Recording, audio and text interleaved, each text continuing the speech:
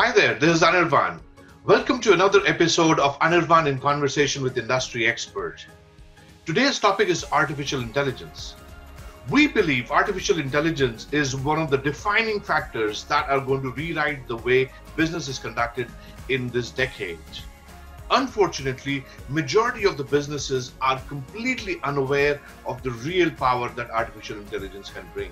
And that is why we chose artificial intelligence for the topic today. And to have this wonderful discussion today, we are being joined by Fabio Rodriguez Sanchez, who is the MD of Growth Enablers at Work.r's Enterprise AI. Welcome, Fabio. Thank you, Arnivan. Thank you very much for having me. And uh, yeah, it's a pleasure to be here. Fabio, you've had a very interesting career so far. I mean, the last when we had spoken, you were with Philips Lighting, and now artificial intelligence.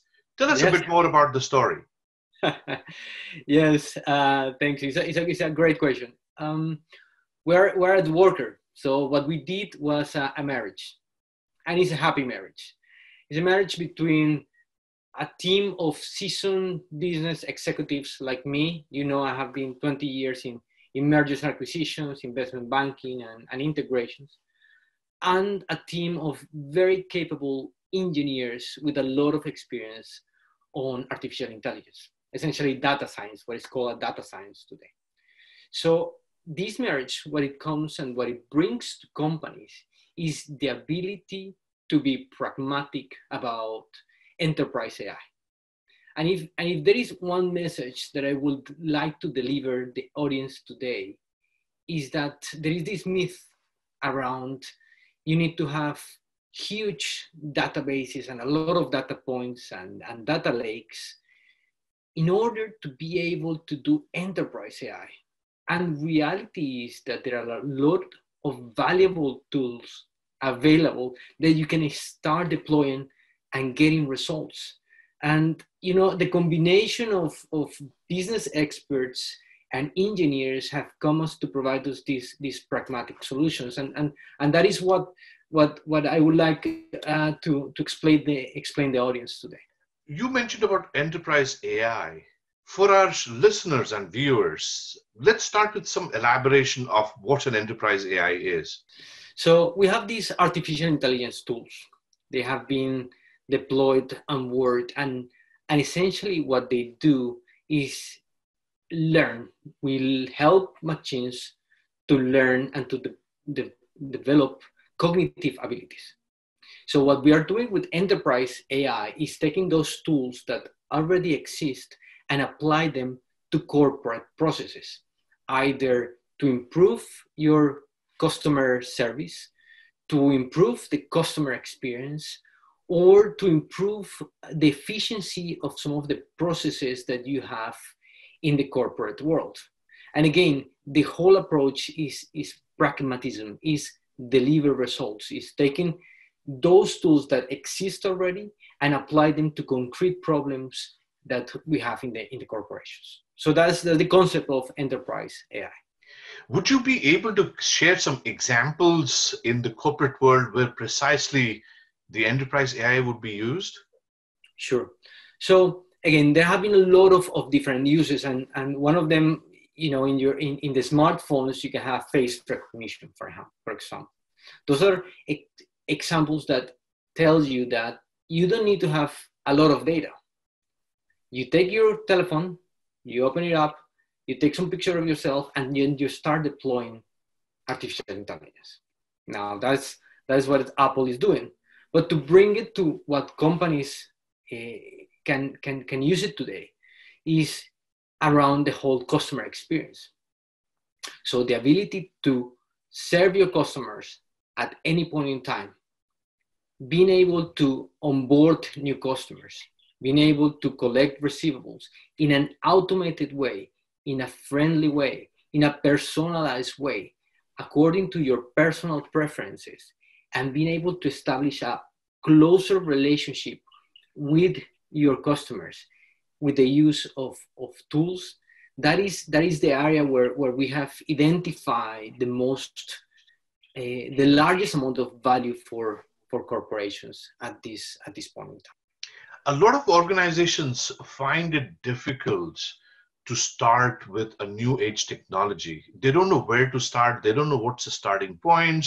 How should they create their um, organization ready for a change like this?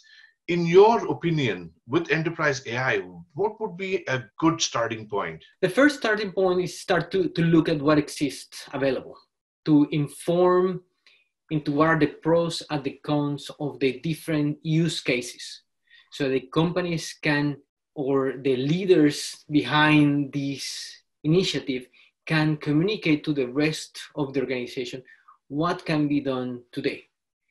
We need to bring down the hype. There was a lot of hype of ai three four years ago and we need to bring it down to today's reality. What is what are the tools that exist today and what, what can they do my recommendation is to start talking to uh, experts. Um, I'm of course happy available to do that, but there are plenty of tools that you can use. There is uh, Coursera um, that gives excellent you know courses about what AI is by experts of, of, of the topic. You know, it's, it's important we demystify the whole uh, black box idea of artificial intelligence because that has not helped uh, the industry at all. And and it's and it's key to to learn to understand what what is possible and what is not possible so that the whole organization can can start to understand um, how to how to start uh, deploying artificial intelligence and let me let me add something to that we are we're allergic to the whole transformation concept right digital transformation is, is, is big words and when it comes to ai we believe that it's like when it comes to mergers and acquisitions is is a capability that you need to build from scratch. And it's a muscle that you need to train. You need to start with a concrete, measurable project that takes weeks, something that is almost almost like a pilot, but can deliver results so that the organization can really understand what is this about and see the value, tangible value of it. And once this uh, concrete example is out there, then the companies, the organization can go for the next stage for more complicated topics. But but it's important to start small and then and build build from there. It's, it's exactly the same like like you and I have talked many times in integrations and, and M&A. Start doing something small, build the competence, build the muscle, build the, the knowledge in the organization, and then start going with with bigger uh, ambitions.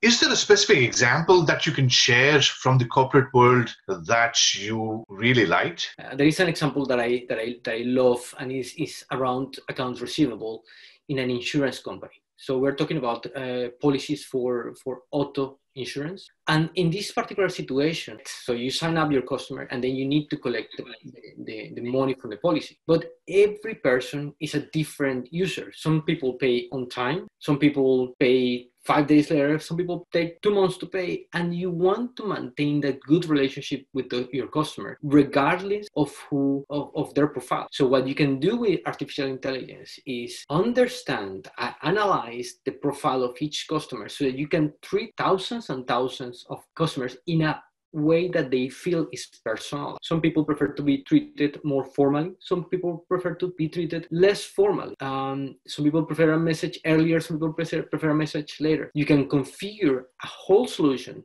And what we did was configure a whole solution to collect those receivables so that we can increase the KPIs for the company and at the same time maintain the relationship with the, with the customers that those who were extremely good players didn't feel like they have been they were being chased by the company but they were contacted at the right point in time with the right message and with the right channel. So that is a very concrete example that we did with, with a lot of success. That's a great example. What would be typically a compelling reason for a company to adapt and adopt our enterprise AI? What would they miss out on if they didn't come on board right now? It's an excellent question, Anirban. And and I, I, I love a book that I le- that I read last year and it's Thank You for Being Late by Thomas Friedman. And he talks about the age of acceleration. And he says, look, without getting into all the details, but every agent, every company, business person will continue ad- advancing at different speed according to the knowledge and tools they have available. And today we have more tools, more computational power, more capabilities available to our hand. And companies are in that race. So if we are in a very competitive environment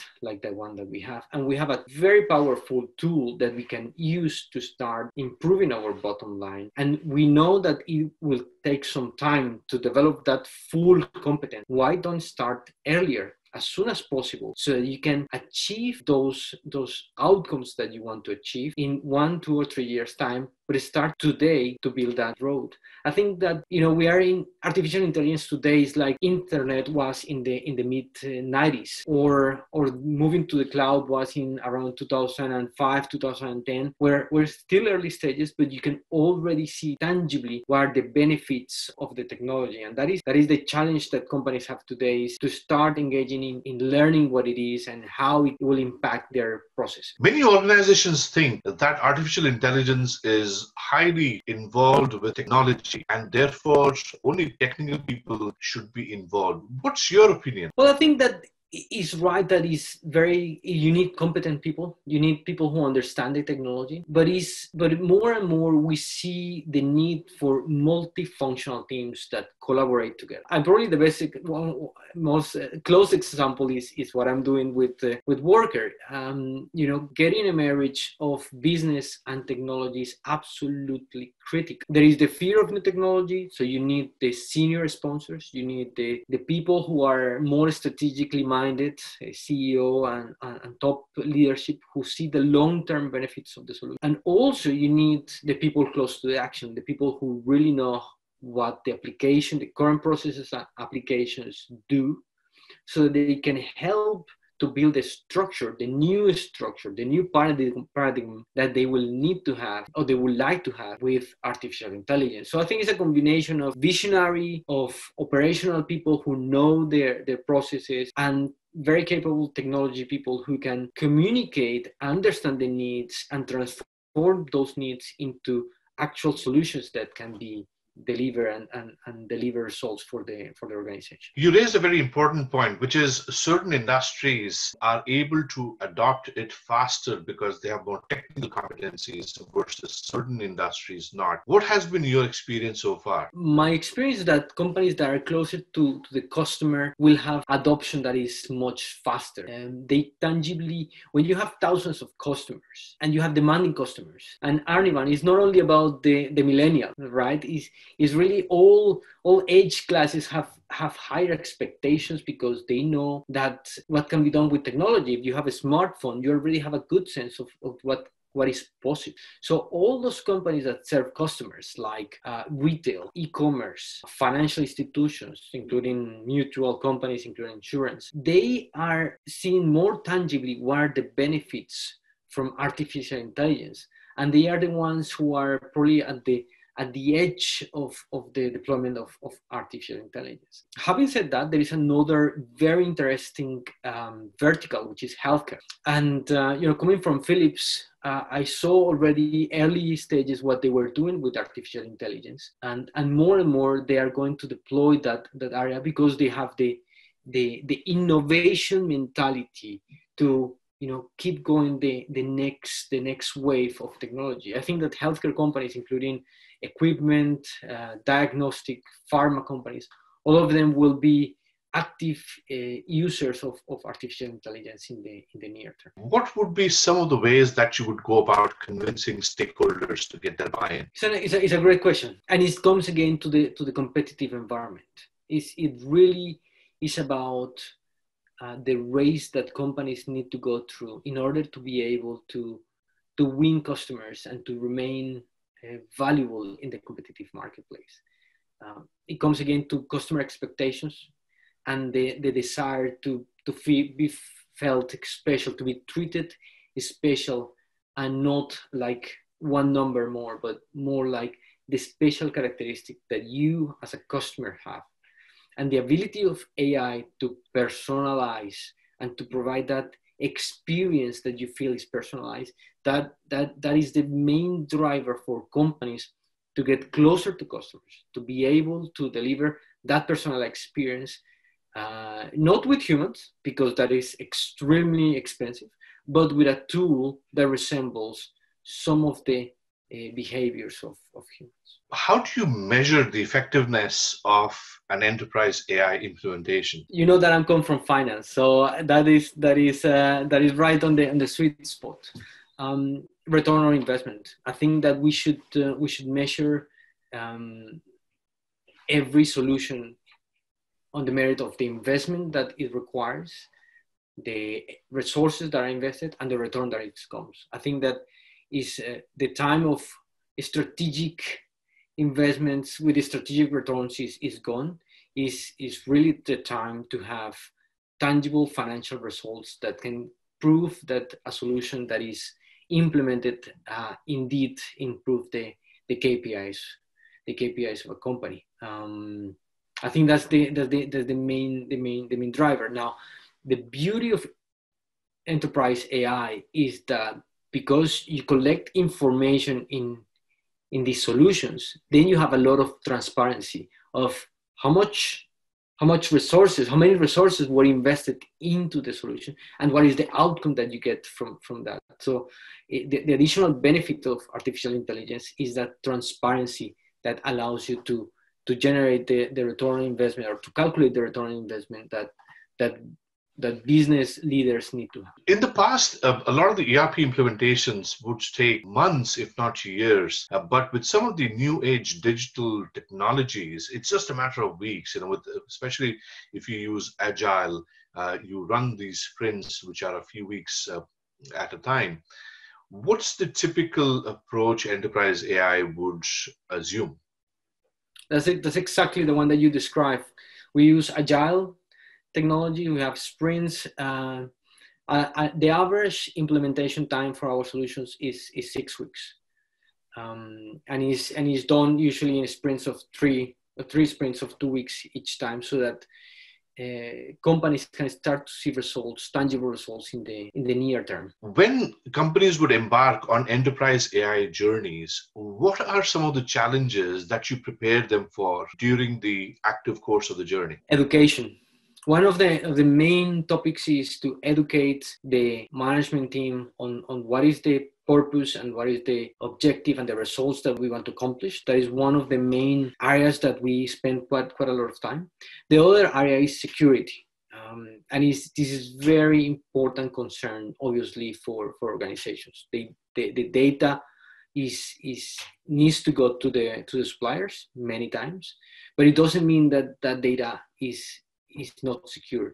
It needs to be treated in a proper way with state of the art um, tools that allow you to ensure that all the all the way through the data is completely completely secure and that is one of the the key efforts that we do when we work with companies in order to make sure that or make them comfortable that by deploying ai their the security of their data is not compromised. Looking at the future, AI is going to redefine the coming decade. What are the trends that you foresee happening from your perspective? That's very interesting. Um, the expectation is that the impact that artificial intelligence is going to have on the economy is in the in the trillions and um, and I, I, would love to have the crystal ball to say okay how this is going to evolve in, into the future um, I think we need to go step by step, really eh, taking the technologies that we have today and start to deploy them and then building from that.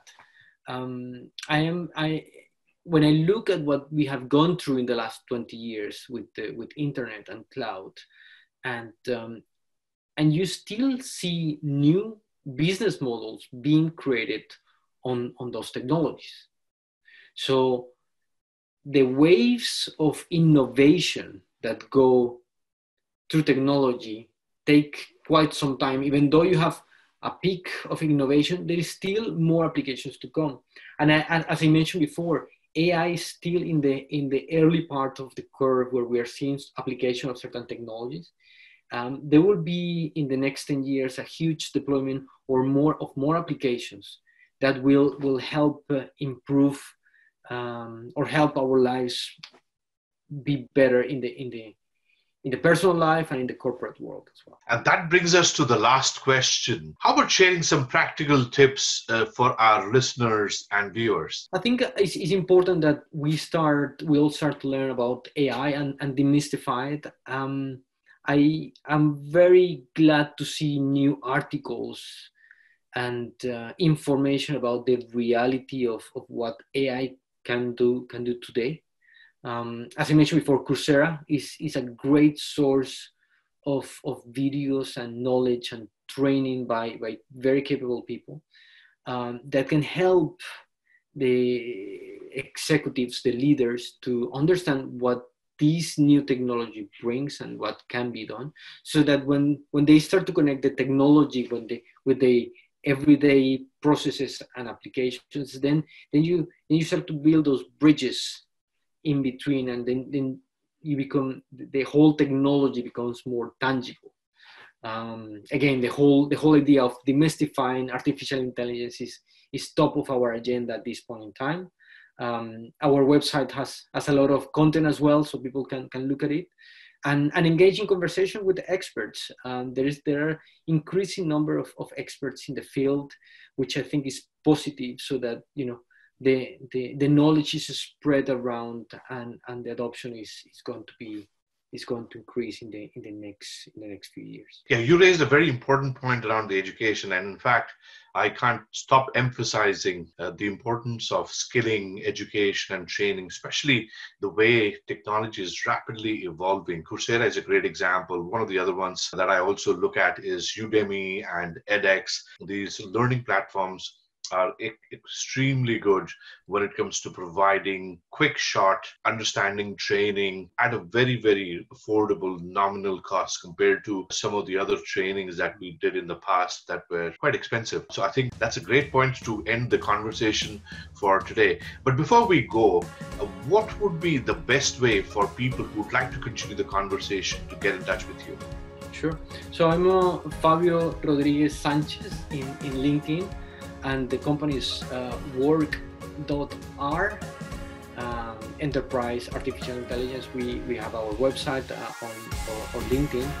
Um, so feel free to, to reach out and uh, happy to, to engage in conversation around this, this fascinating topic Fabio, with this, I would like to bring an end to the program today. It was great having this conversation with you, and we hope to see you again in the near future. Thank you, Arman. Many thanks for the time. So, this was the episode of how enterprise AI can be used by companies in order to improve their processes and performance. So, if you like the interview, then don't forget to press the like button. And if you want to continue hearing more interviews, then subscribe to our channel. Till the next time, bye bye.